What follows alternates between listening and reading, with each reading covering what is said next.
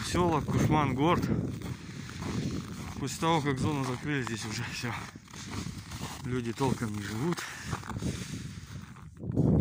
Тишина просто пиздец.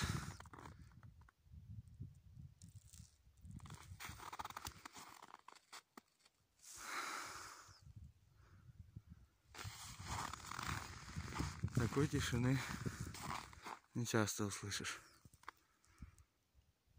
Вон там люди есть.